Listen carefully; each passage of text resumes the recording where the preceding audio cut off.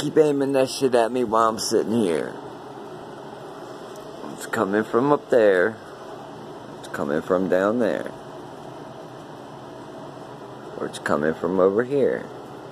But keep aiming it because this is somebody breaking into my shit.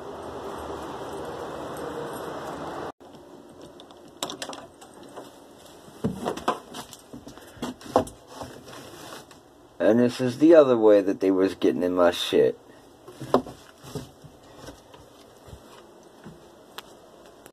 That's why there are the marks on the door so when it's locked, they can be pushed from the inside. Oh, look, you even got them on the plate. See? Look at that sweet little shit right there. Right there.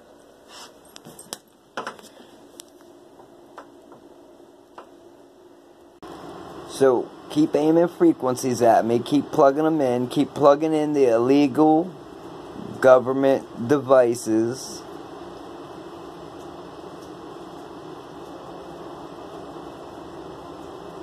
Because I know somebody's breached this door.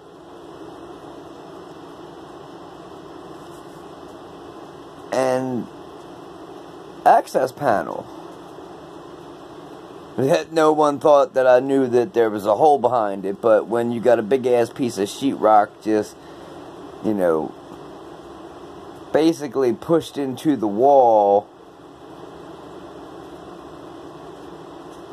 that technically shouldn't be there. Like it should be sheetrocked over, you know, cut out nice. Piece of sheetrock sat in there, taped, spackled, and paint it. Kind of like that little mark right there. So that's breaking and entering, intrusion on seclusion, theft of goods, intent to do bodily harm, stalking, um, terrorism or torture if you include the remote neural monitoring.